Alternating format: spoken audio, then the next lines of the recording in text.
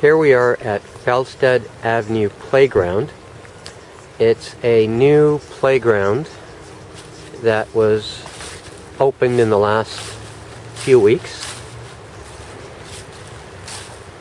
The weather has been unusual in that it hit 18 degrees yesterday on Remembrance Day 2012. Today it was about 17 degrees. It's almost 2 p.m. Monday, November the 12th, 2012. I learned of a new labyrinth here in the newsletter of the Labyrinth Community Network. Previously, when I'd been out in this part of the city, which is just a little bit east of Greenwood, south of Danforth, I always felt this would be a good place for a labyrinth.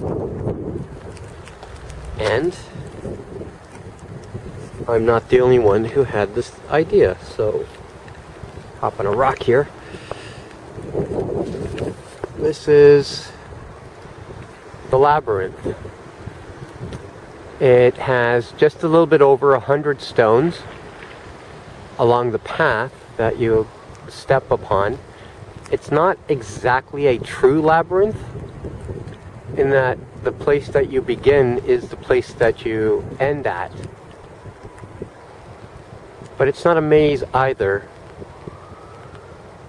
in that there's no dead ends either. So we'll take a walk in a moment. And here we go.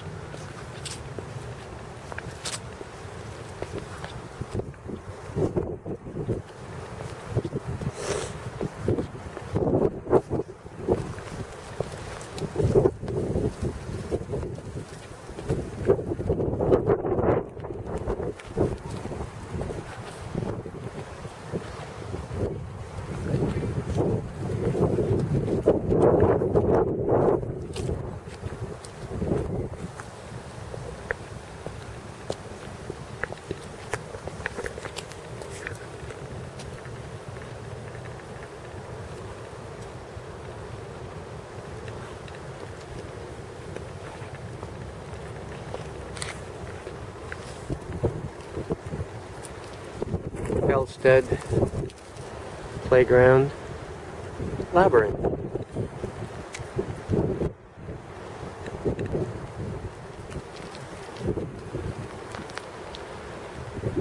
So this is Toronto's newest labyrinth. It's fun. I think the little ones, they'll be hopping on the stones and running and they will have lots and lots of fun. Himy Syed, Toronto City Labyrinth Project, Felstead Avenue Playground Labyrinth. Toronto City Labyrinth Project, labyrinths.ca.